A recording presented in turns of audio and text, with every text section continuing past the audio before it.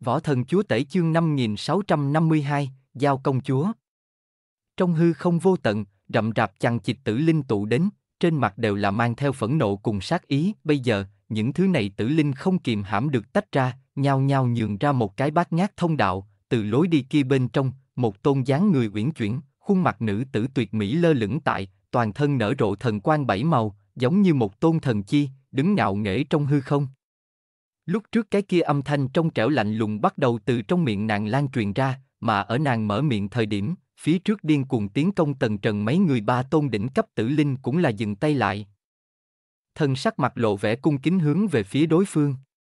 Tần Trần nhìn về phía trước mắt tuyệt mỹ nữ tử kia, khi hắn nhìn thấy đối phương sau đó, ánh mắt bên trong ngoài ý muốn lộ ra một tia kinh diễm chi sắc, tới minh giới lâu như vậy, Tần Trần thấy qua quá nhiều tử linh, minh giới trên người quỷ tu trên thân đều có một loại âm u đầy tử khí hương vị, cho dù là xinh đẹp đến đâu quỷ tu, như U Minh Đại Đế cái kia mấy tôn phi tử, xinh đẹp tuyệt mỹ, nhưng tiếp xúc lâu khó tránh khỏi sẽ cho người một loại không giống nhân gian sinh linh cảm giác. Nhưng trước mắt này nữ tử lại làm cho Tần Trần cực kỳ ngoại ý muốn. Nàng này băng cơ ngọc cốt, da thịt trắng noãn giống như cẩm thạch đồng dạng, lại mang theo thấu hồng ở ngực cực kỳ óng ánh trong suốt. Mặc dù Tần Trần đã từng nhìn thấy khác một chút da thịt trắng noãn minh giới quỷ tu, nhưng bọn hắn trắng nõn là một loại không mang theo huyết khí trắng nõn, có chỉ là bệnh trạng trắng, mà không có thiếu nữ đặc hữu hồng nhuận. Có thế nàng này lại khác tại khác minh giới quỷ tu, mặc dù nàng hồng nhuận cũng không phải là như nhân gian nữ tử như vậy có huyết khí phun trào, nhưng là lộ ra ánh sáng nhạt, giống như là một khối nội liễm hồng ngọc, trong bóng đêm tỏa ra đặc hữu tia sáng.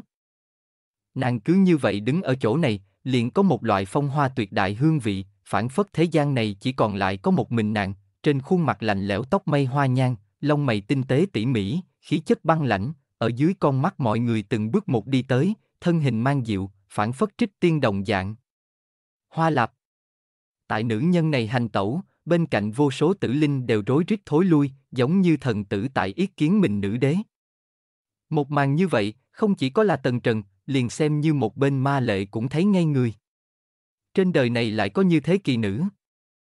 Ma lệ thì thào nói.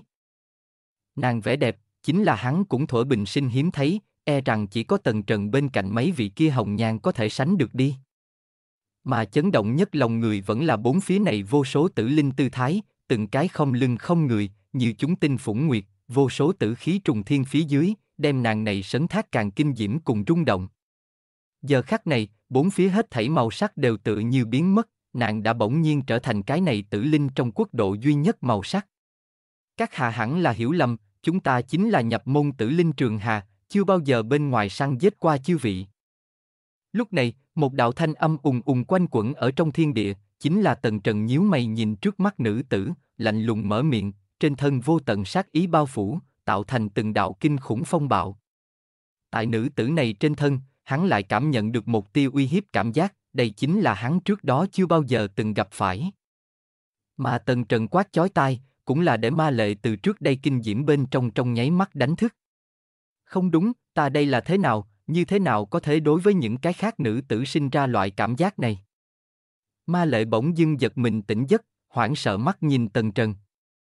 Chính mình lúc trước, vậy mà tại loại kia hoàn cảnh cùng khí thế phía dưới, bị đối phương kinh trụ tâm thần.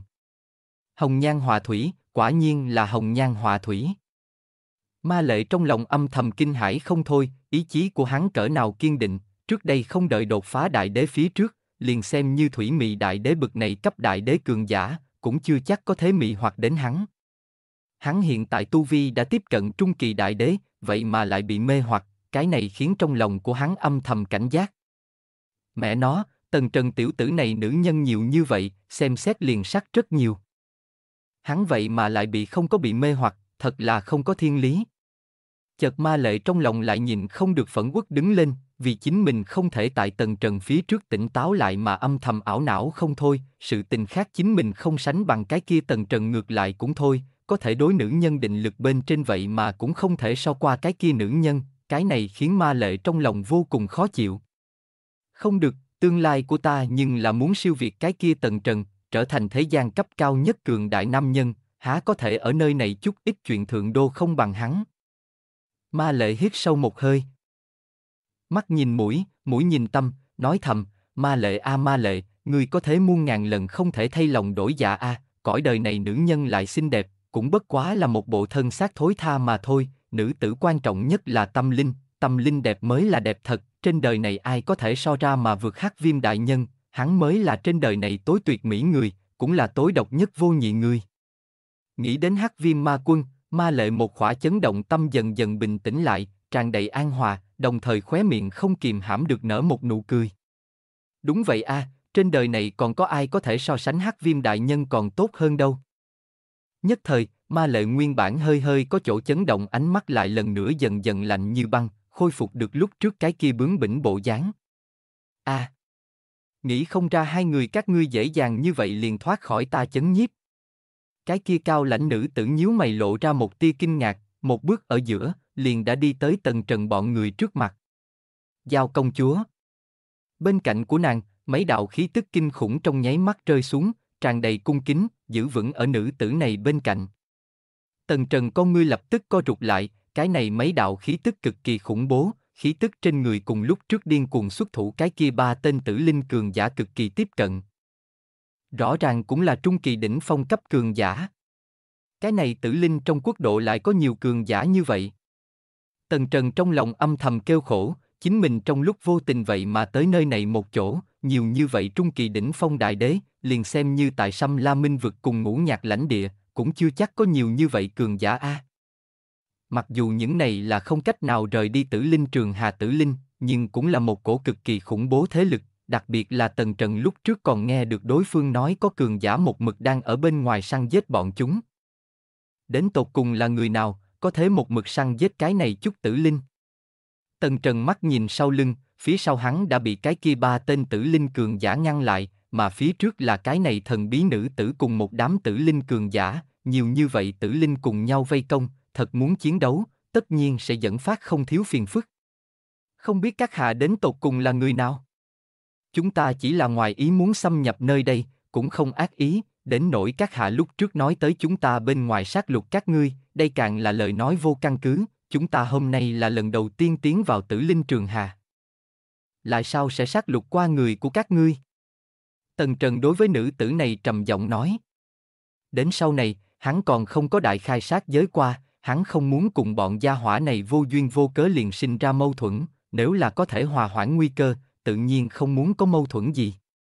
Lần thứ nhất tiến vào tử linh trường hà. Thanh lãnh nữ tử từng bước một đi tới tầng trần mấy người trước mặt, cau mày nói, các ngươi cùng tên kia không phải cùng một bọn. Tên kia. Tần trần nhướng mày, không biết các hạ nói là người nào. Bọn ta thật là lần đầu tiên tới nơi đây. Ma lệ mắt nhìn tần trần.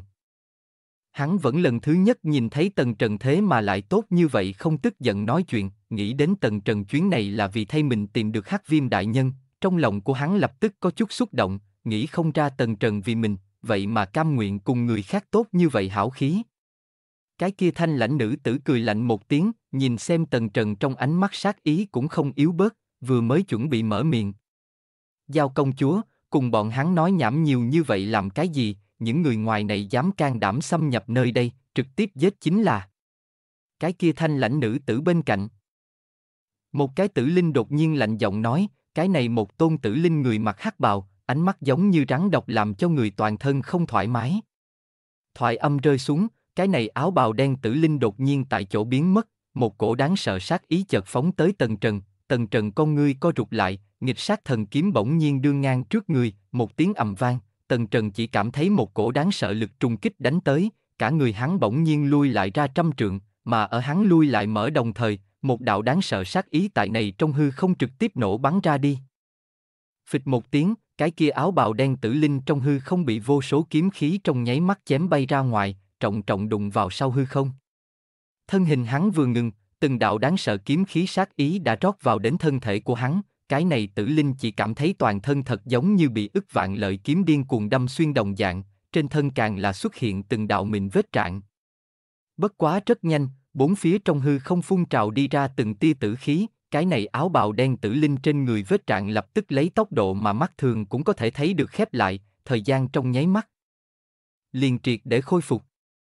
Xem ra các hạ là không muốn hảo hảo nói chuyện. Vậy thì tới làm trận trước chính là, bản thiếu ngược lại muốn xem xem, các ngươi mặc dù nhiều người, nhưng quay đầu đến cùng sẽ chết mấy cái.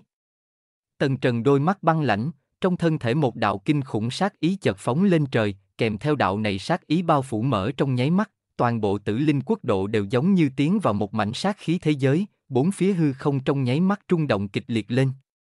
Tần Trần chỉ là không muốn tùy tiện gây thù hằn, nhưng là không phải nói sợ ai, cùng lắm thì trực tiếp khai kiền mà thôi.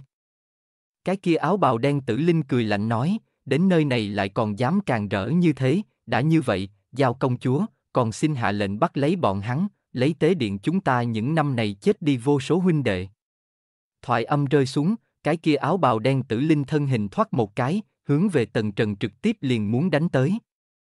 Mà ở bị giết tới đồng thời, khác tử linh cũng đều tản ra đậm đà địch ý, theo sát lấy liền muốn đánh tới, chỉ là không đợi hắn ra tay, một bên thanh lãnh nữ tử nhất tay một cái, một cổ lực lượng vô hình chợt quanh quẩn mà ra, bốn phía tử linh trường hà trong nháy mắt nhô ra một đầu nhánh sông. Ngăn cản cái kia áo bào đen tử linh, cái khác tử linh thấy thế cũng là nhao nhao ngừng xuống. Thấy cảnh này, tần trần ánh mắt lập tức nhíu lại.